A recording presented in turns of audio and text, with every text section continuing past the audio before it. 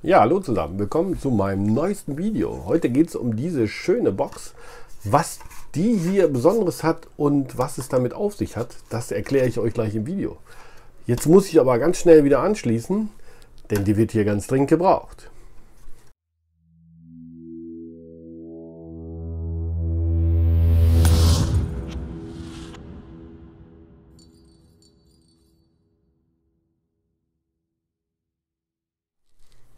Ja, und zwar geht es hier um eine Telefonanlage. Warum beschäftigt sich der Tech-Pirat mit einer Telefonanlage? Das kann ich euch ganz einfach erklären. Wir bieten natürlich Service rund um Telekommunikation an und damit war die Telefonanlage gar nicht so weit entfernt. Dazu mal wir hier ein eigenes Problem zu bewältigen hatten. Und zwar ist unser Problem, dass wir ja auch einen DHL-Paketshop haben und es sehr viel Anrufaufkommen wegen Paketen gab. Jetzt ist aber da die äh, folgende Problematik. Wir dürfen zu Paketen überhaupt gar keine Auskunft geben. Und äh, das war sozusagen die erste Problemstellung, die hier zu lösen war. Jetzt haben wir eine schöne Telefonansage gemacht, die äh, quasi durchleitet durch verschiedene Prozesse. Und zwar kann man, wenn man uns anruft, kann man auswählen, welches Problem ich habe. Ich drücke die 1 zum Beispiel, um direkt mit dem Computer- und Smartphone-Service verbunden zu werden. Ich drücke meinetwegen die 2, um alles rund um mein Paket zu erfahren. Und in der 2, oder wenn man die Taste 2 drückt, ihr könnt gerne mal anrufen, dann erfahrt ihr nämlich genau den Umstand, den wir sonst sehr mühevoll hier weitergeleitet haben oder weitergegeben haben. Und zwar mussten wir jedem Kunden erzählen, das Problem ist, wir dürfen aus datenschutztechnischen Gründen, äh, DGSVO-Verordnung äh, und, und, und, überhaupt gar keine Auskünfte zu Paket geben, zu den Paketen geben. Wir dürfen nicht mal sagen, ob die da sind oder äh, ob die weitergeleitet werden oder wie auch immer. Der Kunde muss persönlich zu uns in die Werkstatt kommen und hier die, seinen Ausweis zeigen und die Berechtigung zur Information sozusagen dokumentieren. Das war natürlich erstmal der wichtigste Punkt. Der ungeachtet davon, kurz, kurz erklärt, das Anrufaufkommen hier bei uns in der Werkstatt ist auf ein drastisches reduziert. Also wir haben maximal noch ein Drittel von den Anrufen von vorher und äh, das ist schon mal perfekt. Damit haben wir also schon mal super mit dieser kleinen Telefonanlage das Problem gelöst. Das zweite ist die Frage zu Öffnungszeiten. Hier habe ich also mit der Option Nummer 3 habe ich jedem Kunden auch nochmal angeboten, sich die Öffnungszeiten anzuhören. Weitere Funktionalitäten sind natürlich auch interessant für uns gewesen, wie zum Beispiel ein Parallelruf. Das heißt, wir können parallel jetzt mehrere äh, mehrere äh, Telefone anrufen lassen, auch Handys zum Beispiel, parallel zu dem äh, stationären Telefon. Das heißt, wenn es hier klingelt, dann kann es überall klingeln wie ein Weltmeister. Dieses Management übernimmt die kleine Anlage. Und das Ganze wirklich sehr einfach und überschaubar zu konfigurieren. Ich zeige euch ganz kurz mal, wie die aufgebaut ist. Wir haben jetzt hier eine Anlage und die sieht in der Tat ganz simpel aus. Hier gibt es, wie ich immer so schön sage, eine schöne clicky bunti Oberfläche. Das heißt, ich bin hier in der Lage, alle meine Einstellungen selber vorzunehmen. Natürlich sind wir als Dienstleister auch daran interessiert, diese Einstellungen für euch zu übernehmen. Und äh, hier helfen wir natürlich aus. Und gerade in der Zeit, die wir momentan haben, ich weiß nicht, wann ihr das Video hier schaut, wir befinden uns jetzt hier im März 2020. Es gibt unheimlich viele Beeinträchtigungen durch den Coronavirus. Da ist natürlich die Anlage umso besser. Ein Beispiel aus der Praxis. Die Anlage wurde also hier installiert und meine Frau, Physiotherapeutin, hat gesagt, boah, die muss ich auch sofort haben habt ihr die Anlage installiert. Jetzt ist es allerdings so, dass die natürlich genau wie wir als Dienstleister weiterarbeiten, aber sehr eingeschränkt. Viele Kunden, beziehungsweise da ist ja Patienten, sagen ab oder wieder zu und und und. Das Management ist sehr schwierig. Und wie der Teufel das so will, ist die Pforte natürlich nicht immer besetzt. Und was haben wir da gemacht? Hier haben wir genau das gleiche gelöst. Durch die Telefonanlage hier kann der Kunde sich auch wichtige Informationen direkt per Tastendruck holen. Und somit war sichergestellt, dass die Praxis immer erreichbar ist. Denn parallel zu dem Telefon in der Praxis klingelt auch wunderbar das Handy meiner Frau. Das Parallelklingeln haben wir in diesem Fall mit dem sogenannten Parallelruf in einer Gruppe gesteuert. Und zwar kann man, wie das von Anlagen, ähm, wie man, wenn man sich ein bisschen mit Anlagen auskennt, gewohnt ist, kann man das wunderbar über die Anrufsteuerung machen, über Anrufgruppen und und und. Diese Anlage lässt keine Wünsche offen. Was aber auch geht, und dazu gibt es hier äh, den entsprechenden Link, wir haben die Möglichkeit, auch eine App freizuschalten. Und zwar bietet Jesta eine App für Android und iOS an. Und zwar kann man hier mit wenigen Klicks, nämlich über einen QR-Code sozusagen jeden sofort in diese Anlage einbinden. Sicherlich gibt es bei der einen oder anderen äh, Konstellation eventuelle Voraussetzungen zu beachten, aber dafür sind wir ja da, da helfen wir gerne.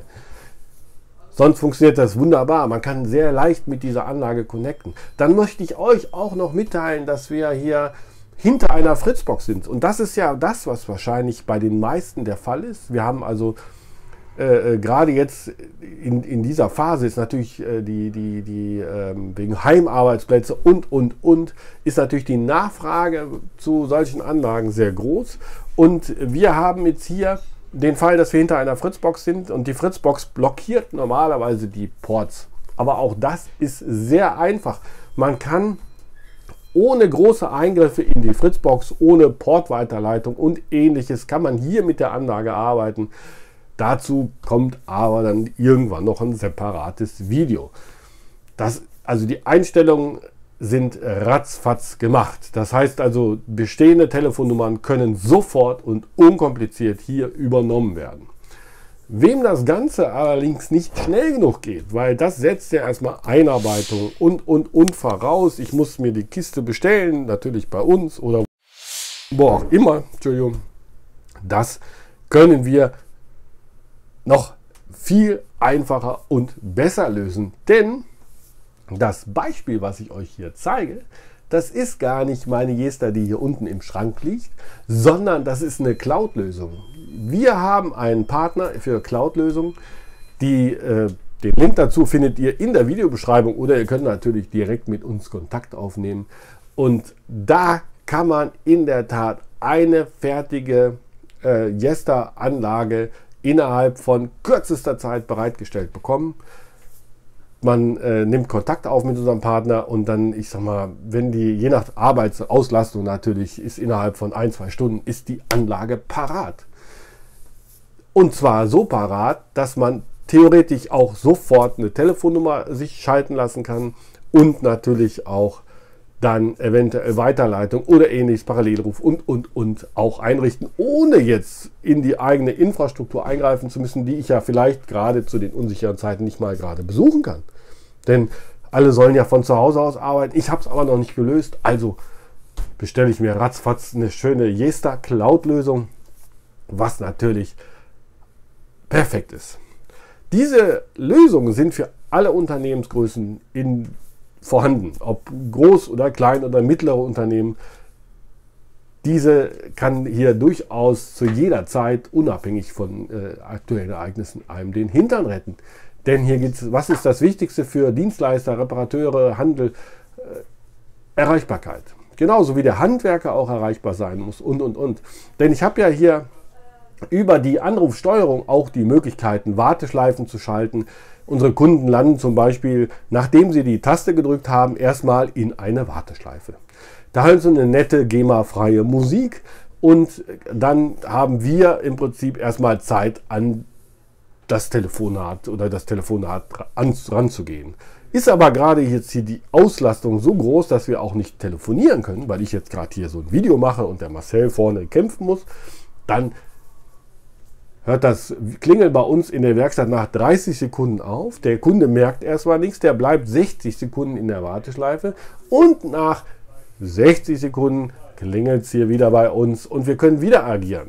Das gleiche gilt natürlich für Parallelruf und, und, und. Das heißt, wir haben auch Entspannung reingebracht. Der Kunde fühlt sich nicht veräppelt, weil keiner dran geht. Wir können nicht immer sofort dran gehen oder müssen auch nicht sofort dran gehen, weil wir halt die Warteschleife nutzen können. Genauso gut können wir dann auch mit allen Endgeräten hier dann die zurück in die Warteschleife bringen, um vielleicht was nachzuschauen.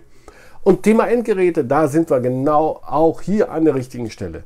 Wenn wir dann ein Smartphone handelsübliches haben oder ähnliches, dann haben wir schon unser Endgerät. Das heißt also, jeder Mitarbeiter muss jetzt nicht ein Telefon zu Hause für sich hingestellt bekommen, sondern der kann entweder über die Linkus-App oder über kostenfreie Voice-over-IP-Apps sich mit dem Server connecten oder mit dem eigenen, in dem Fall ist ja die, die Cloud-Lösung connecten oder mit dem eigenen äh, äh, Server bzw. mit der eigenen Anlage im Büro, in der Werkstatt, wo auch immer. Ja, es ist auch für Werkstätten, Handwerker, für alle ist diese Anlage geeignet. Ja, weil ich einfach maximale Verfügbarkeit sicherstellen kann. Möchte ich meine Endgeräte, um nochmal auf das Szenario, so wie wir es hier haben, zurückzukommen. Ich habe ja hier eine Fritzbox, da sind ganz normale Telefone dran, und zwar äh, die, diese, die, die, die Decktelefone, genau.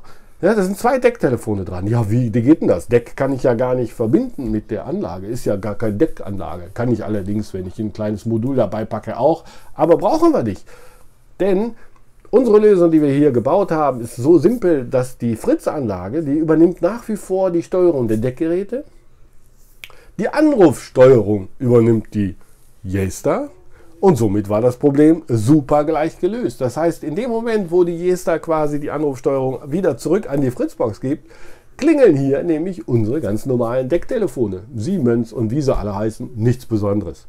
Natürlich haben wir auch zusätzlich auch ein Voice-over-IP-Telefon da. Und das ist auch das Geniale an der Jester. Wenn ich ein Telefon anschließe, da gibt es eine Liste von, keine Ahnung, 30 verschiedenen Voice-over-IP-Telefonen, dann kann ich die über die Jester, hier über die Konfiguration sogar installieren, ohne das Telefon anpacken zu müssen. Der erkennt das Telefon im Netzwerk und fragt mich, ob ich hier mit einem Klick die Konfiguration darüber beamen soll. Ist das geil? Ist das geil? Das heißt, ich mache einfach Klick und schon ist mein Telefon installiert. Das heißt, wenn ich die Jester einmal aufgesetzt habe und die kommt so mit äh, standardmäßig mit zehn äh, vorinstallierten Telefonanschlüssen sozusagen rum, dann stöpsel ich einfach nur die Telefone an und sag übermitteln, übermitteln, übermitteln, übermitteln und fupp, fertig, bin sofort erreichbar. Geiles, geiler Stuff, absolut genial. Bin ich dabei.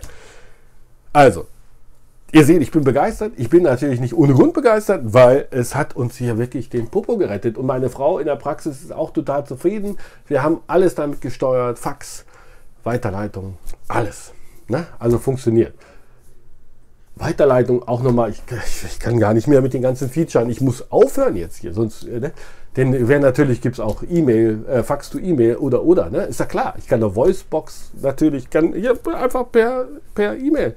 Das heißt, der, der, der Kollege, der gerade mal vielleicht ausnahmsweise doch nicht erreichbar ist, weil er gerade auf seine Kinder im Homeoffice aufpassen muss oder gerade nicht klarkommt, ja, ist egal, kriegt er halt eine E-Mail mit der Nachricht vom Kunden, kann den sofort zurückrufen.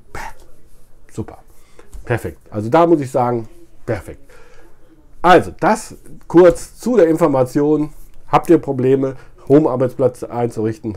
Habt ihr Konferenzbedarf? Konferenzbedarf mit der, mit der äh, Jesta Cloud-Lösung können wir sofort Kon Konferenzen kann da hergestellt werden. Mein Partner stellt euch Konferenzen her. Ihr könnt euch einwählen. Alles macht.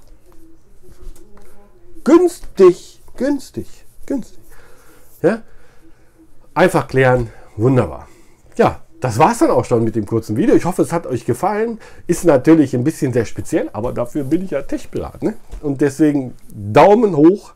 Wollt ihr noch mehr Informationen zu der Anlage, müsst ihr den Kanal abonnieren, denn ich werde noch das ein oder andere Video machen, wie ich zum Beispiel für die Leute, die Interesse haben und selber frickeln wollen, wie ich die bestehende Fritzbox angebunden habe.